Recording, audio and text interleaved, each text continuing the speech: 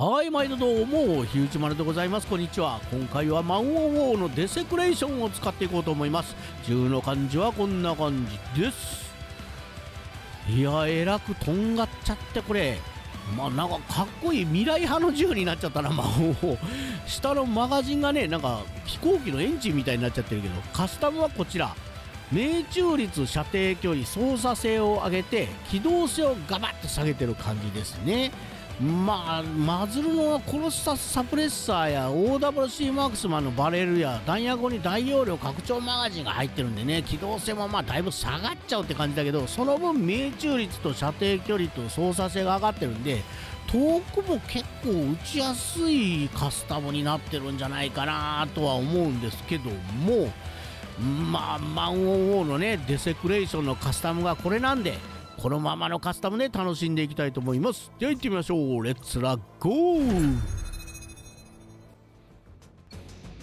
はい場所はラッシュ行ってみようぜ。っていうことでね今回はどうしよう。上登ろうか。ね上に登ってここから狙っていきましょう。うんカスタムによるとね長距離を結構打つようなカスタムになってたしあと命中率とかもね結構上がってたんでね、うん、あんまり動き回るような機動性もねないようだからとりあえずこの辺から打ってお壁ごと打ってやりましょう。はい。倒してあ下もいた。はい倒して。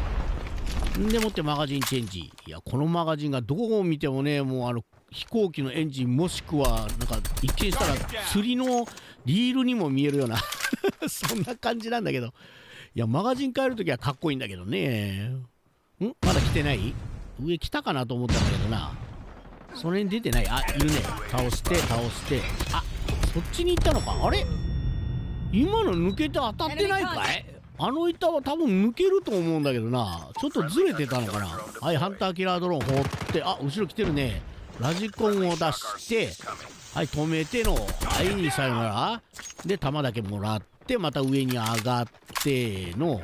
来てないかい？来てない来てないよね。これは後ろだから味方だね。はい、OK。んでもって、この辺までは上がってこないのかな？敵さん。うん、やっぱこっちかな？あ、またいるね。壁ごと撃ってやりましょう。はい、ヘッドショット。あ、下にもいるね。はい、倒して。あ、また来てるね。絶対来てるよ、これ。はいはい。あ、やられちゃった味方。倒してくれたかなと思ったらやられちゃったよ。んでもって、またマガジンチェンジ。んで、グレネードを適当に掘って、コンカッション。えー、っと、ここで、まだ上には来てない。ん？ここにもいない。あ、いたね。あ、ちょっと外しちゃった。はい、倒して。ほんでもって、ん？また来てるね。走ってる音するよね。ん？ラジコンちょっと出してみようか。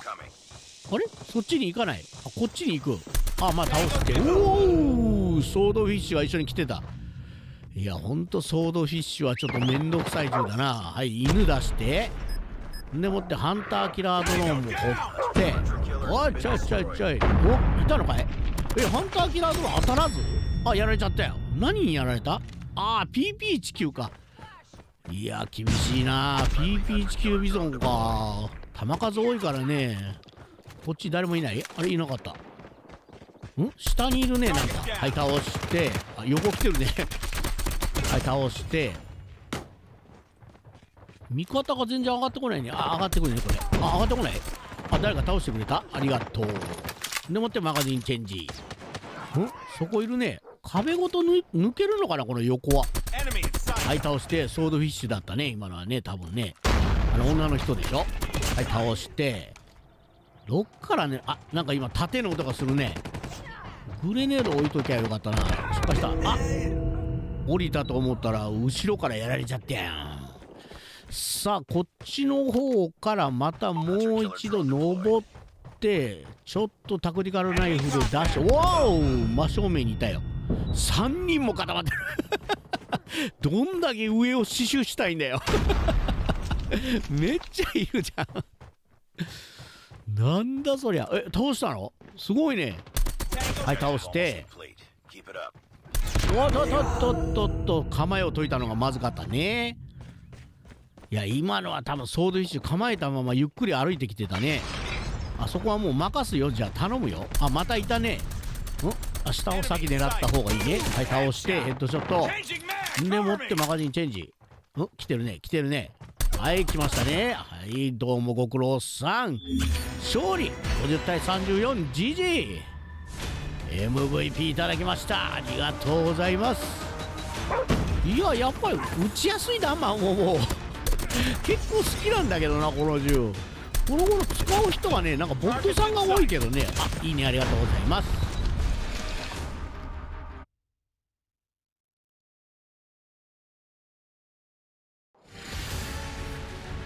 はいデートは80でした。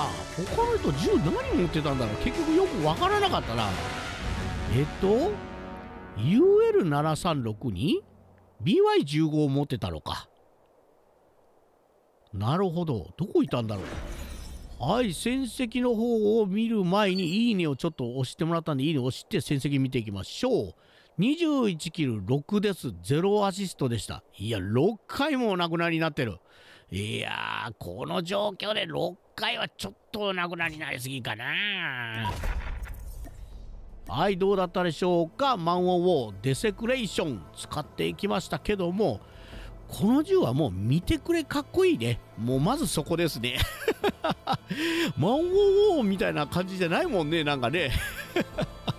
どう言ったらいいんだろう。本当なんか近未来の銃みたいな。これはなんか SF 映画とかに出てきそうだもん。なんかかっこいいな。あのなんだったっけ？ハブラ3のなんかあの世紀末銃って自分が言ってたね。やつがあったけど。あれとなんかよく似てるね。なんか牙みたいなのが生えててね。バスなんかもう銃で撃つよりもつついた方が早いみたいな。まあカスタムがね結構今回自分が使ってるカスタムに近かったんで打ちやすかったっていうのもあるしあんまりバカ速い連射じゃないんで落ち着いて狙えるっていうのがマン・ウォーホーのいいとこじゃないかなと思うんですよねいつも使ってて。うんまあ、あの構えた状態でねあのずっと打つんだったら本当に狙いやすいしただあの1回外しちゃってまたエイムするのがちょっと遅いかなっていう感じですね。うんエイムはどうしてもやっぱりこの弾速が遅いやつは結構多いのかな。まあカスタムにももちろんよるんでしょうけどね。まあこのね、えー、っと、マンオモのデセクレーションは、えっと、バトルパンス金庫の空へっていうやつにね、入ってるんで、もしよかったらね、解放してゲットして使ってみてください。まあ昔からもうね、持ってる人はもうそれをね、まあたまにはね、使ってもらえればいいんですけども、まあちょっとバトルマス金庫まではっていう方がいらっしゃったらね、まあこの魔王のデセクレーションのカスタムそのまま自分の魔王に乗っけりゃね、うん、もう銃の性能自体はもう一緒になるんで、それで試して遊んでみてください。ではまた次回を待て。